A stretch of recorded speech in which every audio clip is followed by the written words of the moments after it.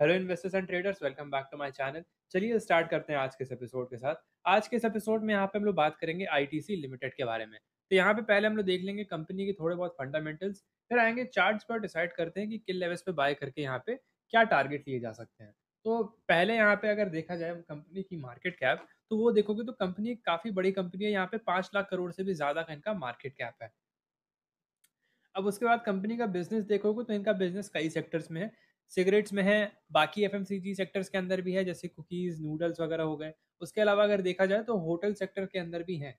All उसका ये कहा जा रहा था कि सिगरेट वाला बिज़नेस जो है वो अलग कर दिया जाएगा। और क्योंकि यहाँ पे एक सिगरेट बिज़नेस है इनके पास तो यहाँ पे मतलब इनके पास कैश का अबंडेंस होता है। अबंडेंस क्यों होता है इनके पास कैश का? क्योंकि सिगरेट देखो एक ऐसा बिज़नेस है ना, जिसको एक तरह से कह सकते हैं क्योंकि एडिक्टिव प्रोडक्ट है। तो लोग बंद भी नहीं करते हैं। और इसको आप लोग ऐसा समझ सकते हो, भले ही लोग यहाँ मार्केट में कहें कि बैन हो सकता है, ये हो सकता है, यहाँ पे कभी ये सब चीज़ें बैन नहीं होंगी, क्योंकि गवर्नमेंट को भी टैक्स कलेक्ट करना होता है। अगर ऐसे बिजनेसेस बंद कर देंगे तो उनका भी टैक्स कलेक्शन में थोड़ा सा कमी आएगी। तो एक तरह से देख सकते हो कि थोड़ा बहुत अगर कमी आती है तो उसको पॉजिटिव वे में नहीं लिया जाता है। और अगर एक फैक्चुअल बात देखें तो मतलब एक हमने खुद से ऑब्ज़र्व की कि जो आदमी सिगरेट पीता है उसको छोड़ते-छोड़ते अगले 20 साल लग जाएँगे। और उस 20 साल में आप लोग देखोगे कि अगली जनरेशन भी हमारे लिए आ जाएगी सिगरेट पीने ताकि हम और पैसा कमा पाएँ। तो ये चीज़ तो चलती रहेंगी। और रही बात कि बैन हो जाएगा तो बैन से ज़्यादा कुछ नहीं होगा, उससे ज़्यादा हो सकता है कि इसकी प्राइस बढ़ा दी जाए। अब प्राइस बढ़ेगी तो ऑटोमेटिकली कंपनी की क्या होगी मार्जिन बहुत बढ़ जाएगी और मार्जिन बढ़ेगी तो यहाँ पे कंपनी की अर्निंग्स बढ़ जाएँगी तो बहुत ज़्यादा कुछ ऊपर-नीचे इफ़ेक्ट नहीं आने वाला है। आईटीसी को रिस्क ऐसे है कि यहाँ पे मान लो कोई परिवार है या कोई फैमिली है जिसको लगता है कि ये सिगरेट पीने की वजह से ये मेरा फैमिली मेंबर इसकी डेथ हो गई या कुछ हो गया। तो उसके बाद मान लो कि वो सूट फ़ाइल कर दी कोर्ट में और वो सूट जीत गए वो लोग तो आईटीसी को पैसा देना पड़ेगा उसको। तो ऐसे केसेस के अंदर थोड़ा सा वो देख सकते हो कि नुकसान हो जाता है ऐसी कंपनियों का।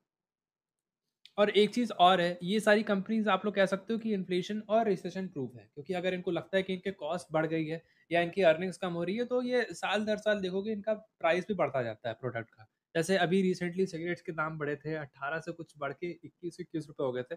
आइडिया नहीं है एकदम से पूरा मतलब, लेकिन फिर भी देखा जाए तो एक थोड़ा-सा यहाँ पे प्राइस बढ़ाई गई थी। और ऐसे के अंदर जब किसी प्रोडक्ट का प्राइस बढ़ता है, मान लो 2% से भी बढ़ गया, अगर आज 10% की मार्जिन है, वहाँ पे 2% बढ़ा दिया गया, तो अल्टीमेटली अगर अर्निंग्स पे इफ़ेक्ट देखोगे तो मार्जिन पे दो परसेंट आया है। लेकिन अर्निंग्स में वहाँ पे बीस परसेंट का इफ़ेक्ट आ जाएगा। मतलब अर्निंग्स क्या होंगी? आपकी बीस परसेंट से बढ़ जाएँगी।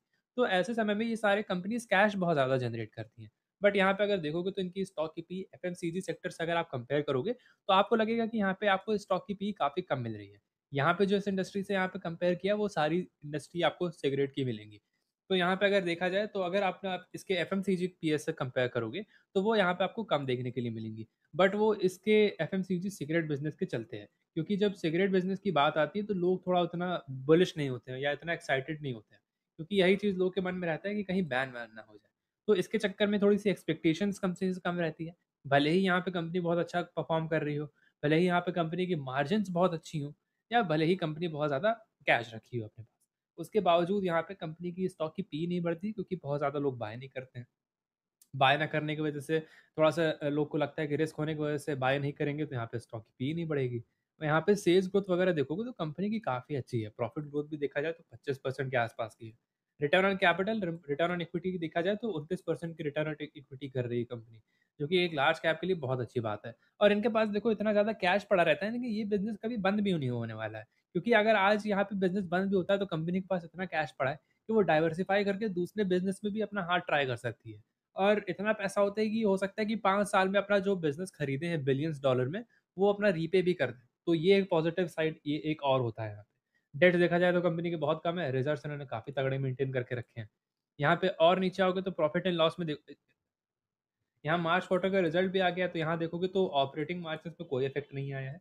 कंपनी की सेल्स ऑलमोस्ट उन्हीं वाले लेवल्स पे है, बहुत ज़्यादा ऊपर-नीचे कुछ नहीं हुआ यहाँ पे और नेट प्रॉफ़िट देखोगे तो नेट प्रॉफ़िट कंपनी का थोड़ा-सा बढ़ते हुए आप लोगों को फिर से नज़र आएगा। यहाँ पे देखोगे क्वार्टर एंड क्वार्टर तो क्वार्टर एंड क्वार्टर रिजल्ट्स काफ़ी अच्छे होते जा रहे हैं। यहाँ पे देखोगे 2020 क्वार्टर में मार्च में 3927 की यहाँ पे जो नेट प्रॉफ़िट थी वो 2000 करोड़ से बढ़ गई है। ऑलमोस्ट 2000 करोड़, 2000 करोड़ से थोड़ा-सा कम है, 1800 करोड़ के आस-पास कह सकते हो। 1800 कह रहे हैं सॉरी 1400 पन 1300 के आसपास।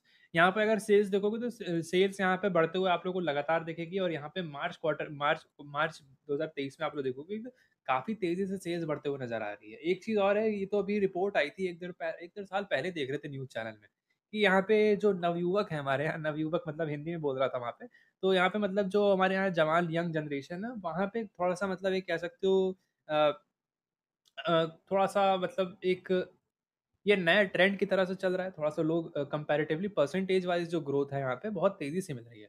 मतलब यंग जनरेशन बहुत तेज़ी से इन सब चीज़ों से अडिक्ट हो रही है। अब रीज़न उसका जो भी हो, यहाँ पे देखेंगे ऑपरेटिंग मार्जिन तो ऑपरेटिंग मार्जिन यहाँ पे थोड़ी-सी बढ़ते हुए नज़र आई है यहाँ पे। और यहाँ पे नेट प्रॉफिट की बात की जाए तो नेट प्रॉफिट बहुत तेज़ी से बूस्ट हो रही है। और एक रीज़न ये भी है कि यहाँ पे काफ़ी सारे लोग रिकमेंड कर रहे हैं आईटीसी बाय करने के लिए और अगर देखा जाए तो पोर्टफोलियो स्टॉक ये बन चुका है एक्चुअली में काफ़ी समय से पोर्टफोलियो स्टॉक है और काफ़ी समय सही समय था बाय करने का, अभी कुछ समय पहले भी, अभी भी। ये मतलब कंपाउंडिंग रिटर्न दे सकता है काफ़ी समय तक आप लोग को। मतलब अगर देखा जाए कुछ नहीं तो 12-13% साल भर का दे जाएगा। तो पोर्टफोलियो आपका एक अच्छे लेवल पे मेंटेन करके चल सकता है। अब एफआईज़ की होल्डिंग देखोगे तो 14 से बढ़ के 43 के आसपास आई है। डीआईज़ की होल्डिंग वही है, पब्लिक की होल्डिंग काफ़ी हद तक कम हो गई, जो कि एक अच्छी बात। अब यहाँ पे एफ़ आई बाइंग कर रही है, पब्लिक की होल्डिंग कम हो रही है, मतलब कि एफ़ को लगता है कि यहाँ पे स्टॉक के अंदर अप्रिसिएशन होगा। अब यहाँ पे देखो जैसे पिछली बार एक रैली मिलने के बाद यहाँ पे पॉज़ आया था। पॉज़ मिलने के बाद ये वाले लेवल्स क्लियर करते ही एक यहाँ पे रनअप देखने के लिए मिला था। वैसा ही सेम चीज़ आप यहाँ पे भी एक्सपेक्ट कर सकते हो। यहाँ पे देखो तो एक रनअप देखने के लिए मिला है। रनअप देखने के बाद थोड़ा-सा यहाँ पे एक छोटा-सा पॉज़ देखने के लिए मिला है। अब ये पॉज़ लंबा होता है तो ज़्यादा अच्छी ट्रेड मिलेगी हम लोग को, लेकिन अगर ये पॉज़ छोटा होता है तो छोटी ही ट्रेड मिलेगी। अभी एक तरह से देखा जाए तो पैरेलल चैनल के अंदर भी है ये, तो अगर ये पैरेलल चैनल ब्रेक करता है तो फर्दर अपसाइड आपको देखने के लिए इसके अंदर मिल सकता है। कम से कम 15-20% तो आराम से इसके अंदर निकाला जा सकता है, जो स्विंग ट्रेडर्स हैं। बाकी अगर रही बात तो यहाँ पे आप लोग क्या करो सिंपल इसको बाय करो और भूल जाओ। मतलब एक भूल जाओ वाला स्टॉक जो पूछते हो ना आईटीसी वैसा एक स्टॉक है क्योंकि यहाँ पे इनकी अर्निंग्स वगैरह बंद नहीं होने वाली हैं। अगले 10 साल की बात की जाए तो बिल्कुल नहीं बंद होने वाली है।